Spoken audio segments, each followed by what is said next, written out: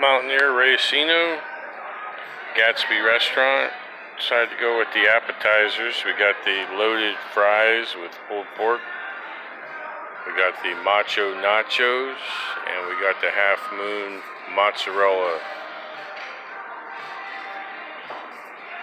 Again, Mountaineer Racino. They have all you can eat crab legs with the seafood buffet on Fridays. Saturdays they have the shrimp and barbecue buffet, and Saturdays and Sundays the brunch buffet. Good food, give it a try.